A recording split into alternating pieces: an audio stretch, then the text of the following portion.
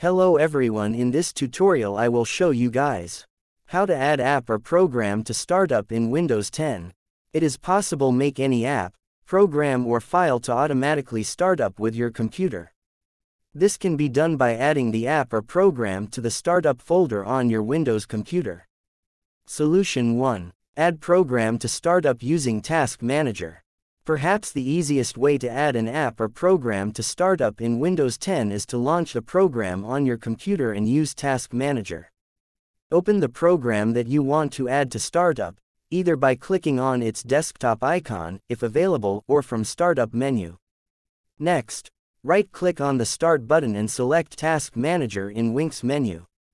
You can also launch Task Manager by right-clicking anywhere on the taskbar and selecting Task Manager in the menu.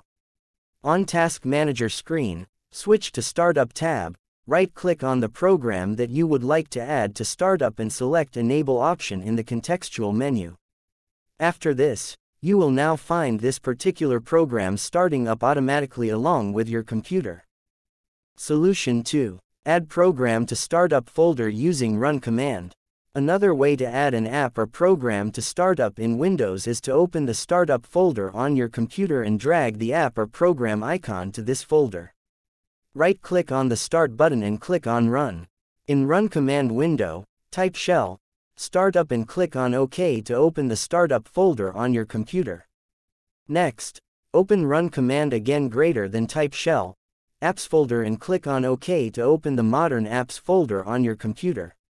In the Apps folder, locate the app that you want to start up with your computer and drag it to the Startup folder. This will make this particular app to automatically launch, as soon as you start the computer and be ready for your use. Solution 3. Add Excel or Word file to startup in Windows 10. The procedure to add any Microsoft Excel, Word or any other file to startup is the same as adding any app or program to startup on a Windows computer. Right-click on the file and click on Create Shortcut option in the contextual menu. Next, open Run command greater than type shell, startup and click on OK to open the startup folder. Now, drag the shortcut that you had created into the startup folder. You can also use copy, paste or cut, paste commands to copy the shortcut into the startup folder.